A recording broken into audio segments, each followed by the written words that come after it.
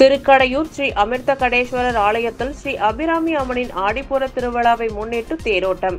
ஸ்ரீ அபிராமி அம்மன் திருத்தேரில் எழுந்தருளி பக்தர்களுக்கு வடம் பிடித்து இழுத்து வழிபாடு நடத்தினர்.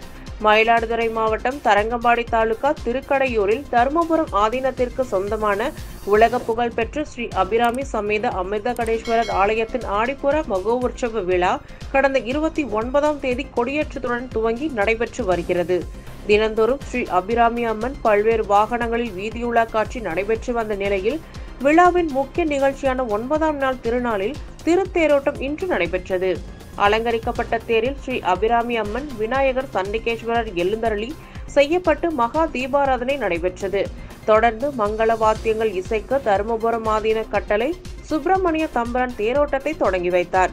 தொடர்ந்து திரளான பக்தர்கள் தேரை வடம் பிடித்து இழுக்க தேர் நான்கு ரத வீடுகளின் வழியாக வடம் வந்து நிலையை அடைந்தது. பக்தர்கள் வீடுதோறும் தீபாராதனை எடுத்து அர்ச்சனை செய்து வழிபாடு நடத்தினர்.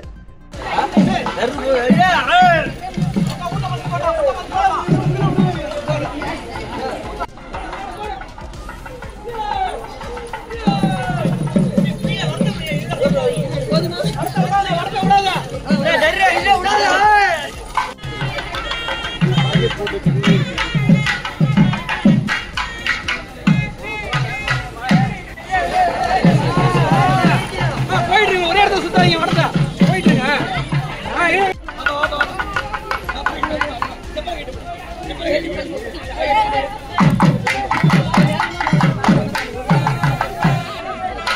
போடு போடு அடி அடி அடி அடி அடி அடி